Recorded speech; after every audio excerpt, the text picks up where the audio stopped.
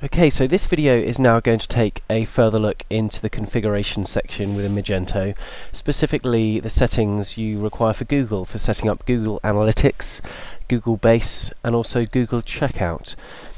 So firstly we're going to go into our configuration menu under System on the Magento admin panel there.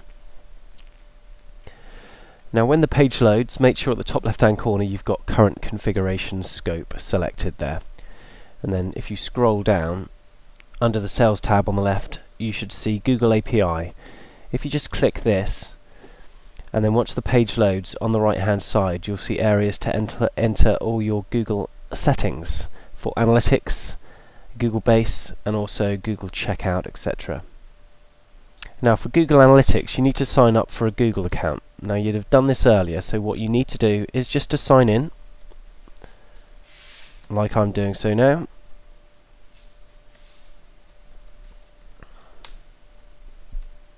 Once you're logged in, just search for Analytics.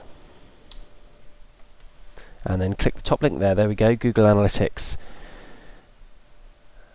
Now Google Analytics will basically enable you to get lots of stats about your users and what they do on your website. So if you just click the sign up now link here, and then just tap in your password again and then click sign in. You'll come to the sign up page for Google Analytics. So again, click the sign up button. And then you need to enter details about your website. So type in your website URL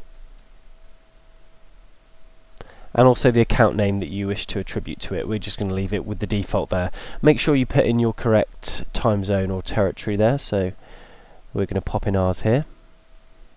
United Kingdom and then click continue. On the following screen you can enter your first name and last name and once again you just got to confirm your territory